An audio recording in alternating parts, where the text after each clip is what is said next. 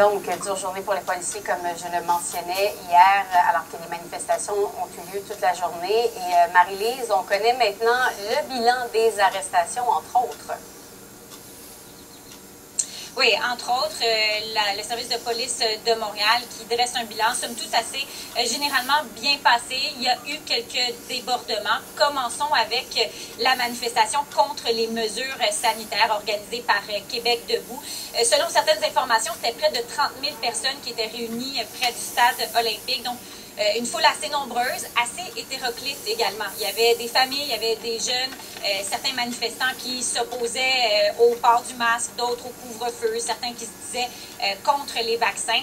Maintenant, pour ce qui est des interventions policières pour cette manifestation, il y a eu 28 constats d'infraction émis en vertu de la loi sur la santé publique, 6 constats d'infraction pour le non-respect des règlements municipaux.